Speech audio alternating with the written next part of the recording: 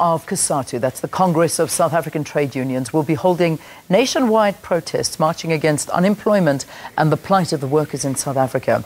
The march coincides with the release of the country's unemployment figures, with Stats SA reporting marginal drop in unemployment to 27.1 Sizwe Pamla, the uh, spokesperson, is in studio to talk a little bit about this. Sizwe, thanks so much for coming in. Thank you.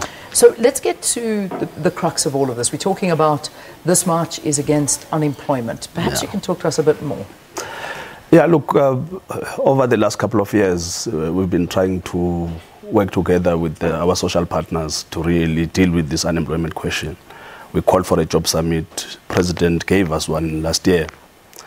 Unfortunately, uh, when we got to the job summit, we couldn't agree on a moratorium on retrenchments because we were complaining at the time to say, look, since 2012, uh, government gave the private sector uh, tax breaks. Corporate tax was reduced from 34% to 28%. Now we were saying to them, you do have these tax breaks. Don't you think it's fair that you actually work with all of us to put a moratorium? Let's look at the problems, find solutions. They refused uh, to sign the framework.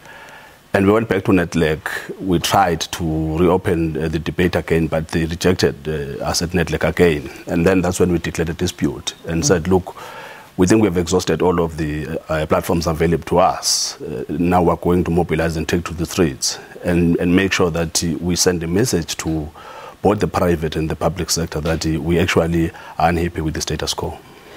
Yesterday, we saw some figures coming out from Stats SA, basically stating, um, uh, uh, from Stats SA saying that there is a small drop in unemployment. Um, is this a bit encouraging to you? No, not at all. Uh, in fact, uh, fourth quarter results are always misleading because uh, you are talking about the temporary workforce that is normally absorbed during the festive season. So you are going to see, when you see the first uh, quarter of the uh, 2019, that, that uh, those jobs would have disappeared because most of those people were just temporarily employed over the festive season. But even if you were to look at that, it is still disappointing that uh, even during the festive season, uh, we could only uh, we could only afford to really absorb 0.4 percent or percentage point. normally, we, we always do better than that, but this time around, these numbers are still depressing. So for us, we strongly believe that we need a, a, a state that a state that does have a plan. Currently, listening uh, to the president during the SONA, he still resorted to his comfort zone. He still believes that the private sector will fix this. But it hasn't done so for the last two decades. So we are wondering what is it that he thinks will change now? Because he has given them tax breaks. He has, uh, uh, uh for example, look at the mining chart. They were complaining about the mining chart. They were complaining about the previous cabinet. So the, the, the, President Ramaphosa has given everything to them, and they are yet to reciprocate any of his uh, uh, efforts, really. And, and, and, we do believe that uh, sooner or later something needs to be done. We, we look at different sectors that are going to be affected by this, and um, perhaps you can shed a little bit more light as to where exactly um, the COSATU affiliates are going to be striking. I'm reading that DENOSA are actually coming to support you. They're also going on strike. This is the nurses' union basically saying that they're exceptionally unhappy in the health sector as well. Uh, I think their concerns is also on NHI and many other things. So these are nurses. I, I imagine contingency plans are made, particularly for nurses. But you know, where else? What else is going to be affected in South Africa?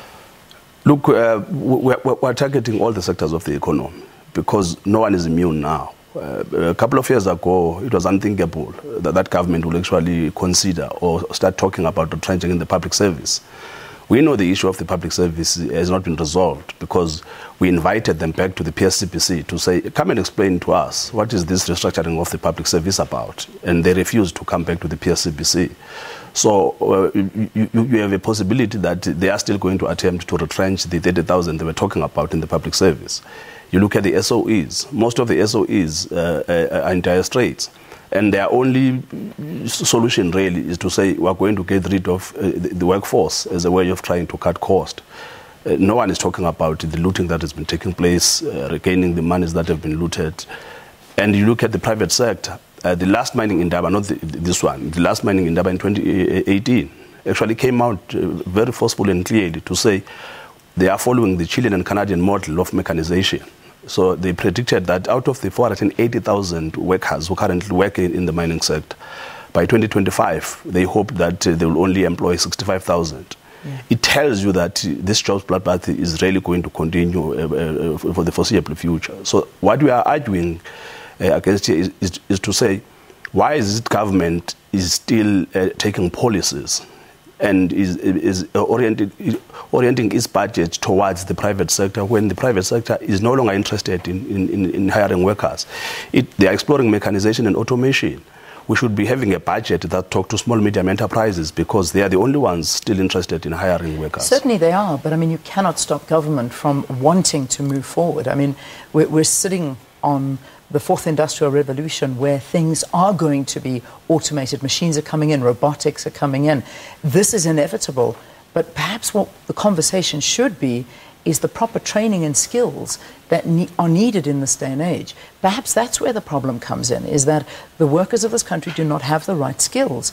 Have you ever looked at that as an angle? Well, uh, we've been talking about that for the last two decades. Everyone has uh, acknowledged that, that uh, the South African workforce, to a certain extent, is unskilled. But the, the, the, the, the, latest report from Stellenbosch University actually was saying that because of that, everyone is else abandoning the workers because of their lack of skills and just choosing to, to, to, to, explore automation. In fact, they were predicting that in the next decade, they anticipate that 5.7 million uh, uh, jobs will be dislocated. And those workers uh, uh will, will, be left to their own devices. Now, what we are arguing here is that, look, we're not going to st uh, stop in the way of progress. But that progress needs to be managed. Your own policies as a government should speak to the fact that you have failed to reskill this workforce. And if, if you end up having a situation where you bring in mechanization and automation, then there has to be a just transition. Mm. You can't just say those uh, whose jobs are dislocated, hard luck to them, and then you throw them into the unemployment scrap heap. So the argument we're making here is that we want to hear what is the plan I mean, we do have the SETAs that are, dis, uh, uh, uh, are dysfunctional. We need to, to, to, hear what is, is the plan to fix the SETAs so that we can reskill the workforce. But just transition means that you are not going to do what you did with the IPPs, where you just wake up one day, you impose IPPs, and then you say, coal miners, truck drivers who deliver coal, look, tough luck to you, because now we're, we're moving on. That is not how you actually uh, uh, uh, implement policy, and yeah. that is what we are complaining about. So, again, I want to go back to sectors because a lot of people are very concerned about what is going to happen today. Mean, you're telling me all provinces are involved except for the Western Cape. That is because you're waiting for the budget that is going to be announced next week, Tuesday. The strike will take place next Tuesday there. Parents are worried. Do they send their kids to school? Are the teachers' unions being a part of this as well? Yes, the teachers' unions are part of this. Uh, the nurses are part of this. Look, uh, it is not the union's fault that uh, at the PS- level uh, there's no minimum service level agreement that was signed.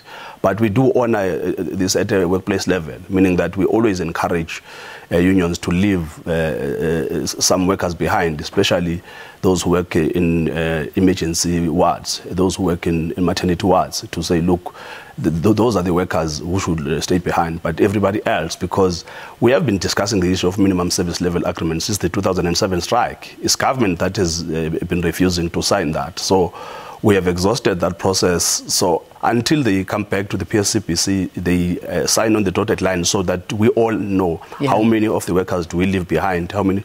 Now it will be up to the unions themselves, working with those who manage the health facilities, to actually make that determination. So it's something we need to determine. Yeah. I want to touch on Eskom now because this is a, bit, a very big issue.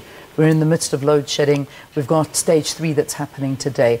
There was a threat coming from, or, or, not a threat, there was an accusation coming yesterday from the ANC saying that this is sabotage by the Can you confirm or deny this? It's nonsense.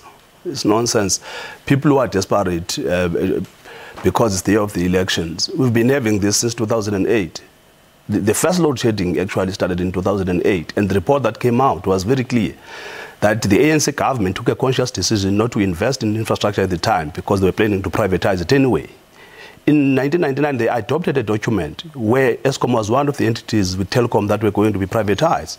So there is no secret uh, uh, of the fact that they've been trying to privatize it uh, uh, for the last two decades. In fact, if you look at the mess that we're hearing about now at, at, at, at, um, these two power stations, it's got nothing to do with the unions. It's got everything to do with the uh, uh, wasteful management uh, uh, uh, that has been taking place at Eskom for Stories decades. of seven generators tripping in one day? No, no, no. Uh, uh, if, if you make assertions without evidence, we'll dismiss them without evidence. We don't have to uh, prove uh, something that you, you, you, yourself have not proved. Mm. They have made this uh, in a vacuum, so why should we be bothered by uh, trying to explain ourselves? Until such time they can present evidence, we'll only dismiss it as nonsense. Now, there's also a threat, and COSATU have come out and said this, and, and, and some are dismissing this as an idle threat, that you are willing to leave the ANC and, and, and walk away from the alliance because of the fact of the unbundling of Eskom. Is there truth to this? Will you follow through? No, actually, um, uh, we, we, we did have a discussion with the leadership of Gauteng because this issue was reported to have come from the uh, Gauteng province.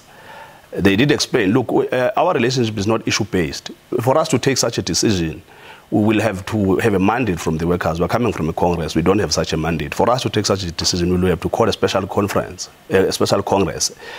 What I think they were trying to uh, uh, express was the fact that the unbundling of Eskom has led to a substantial number of COSATU members making it very clear that they are considering uh, uh, uh, other options. They are not prepared to vote for the ANC. That is a sentiment that is growing by the day.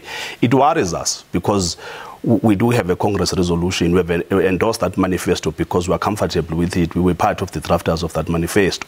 But the unbundling of Eskom was never a part of the manifesto.